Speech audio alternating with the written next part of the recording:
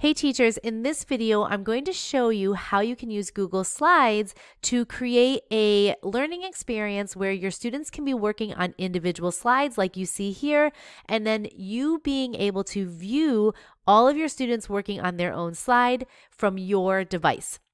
So this is a super helpful Google Slides tip if you want to be able to see your students all working in real time and be able to kind of monitor them without having to walk around the room to see individual students working at their own desks.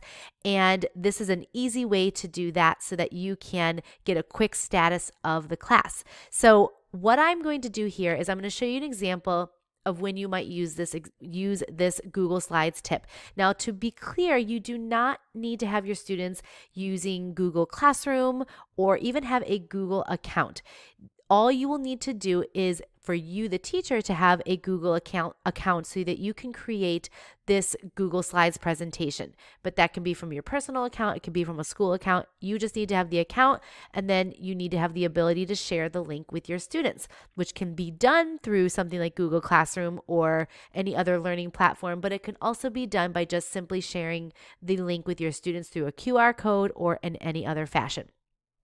So I'm going to be using an example of when I might use this in a math class where students are um, all going to be working on a slide where they're going to be building numbers using these digital base 10 blocks. So what I've done ahead of time here is I've created a slide that has my hundreds um, cubes, my my I'm sorry, my thousands cubes, my hundreds flats, tens rods, and ones cubes here. So I have prepared it so that I've got several and they're actually all stacked on top of each other, which I have another video that shows you how to make almost like an infinite cloner hack like you might see in a smartboard situation using Google Slides instead. So I will show you or I will link to that video down below so that you can learn how to set up this really easily with an infinite cloner type style um, setup. So I've got these all set up for you here and I've got some blank space here. Once I've set up my slide, I want to duplicate it for each student that's going to be using this particular activity. So let's say I'm working in a small math group and I want to duplicate this five times.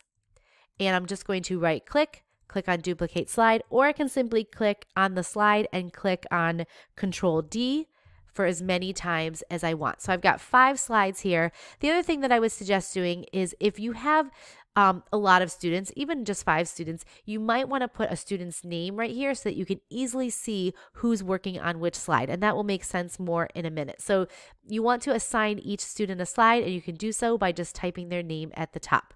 So once you've done that, you're going to want to share this link with a stu- with your students. So I'm going to make sure that my link is set to anyone on the internet with this link can edit. You want students to be able to edit this, not just view it. So once you've done that, you're going to click on copy. That's the link you're going to share with students. Again, whether it's through your learning platform or just by directly sharing the link using something like a QR code or whatever.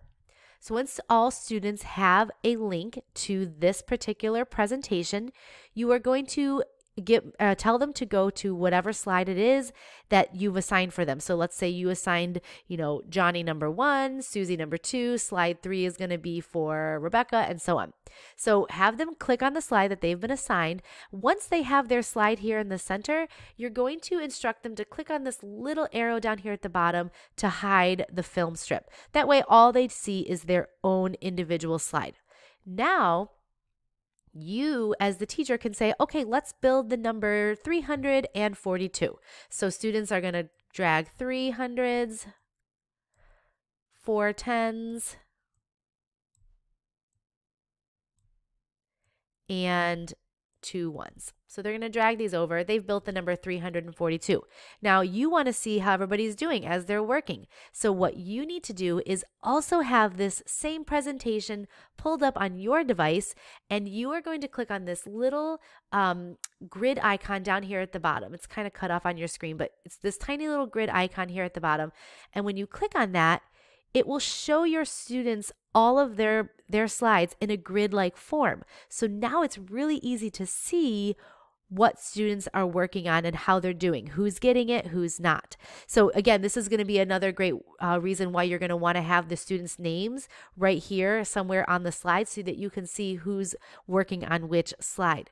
And that's it. You can use this for a variety of learning um, learning activities, whether it's uh, math manipulatives, digital math mani- manipulatives, or Maybe students are all working on a writing assignment that you want to be able them to, to see them writing on, whatever it is. If you have them all working within the same presentation and you assign each student their slide and then you share that link with them, you can look at the status of the class in this grid-like view so that you can then see how your class is doing. And then if you want to take a peek at someone's slide individually, you just double click on it and it brings that slide up for you. So that is your quick tech tip on how to use Google Slides so that you can get a quick status of the class and see them working in real time.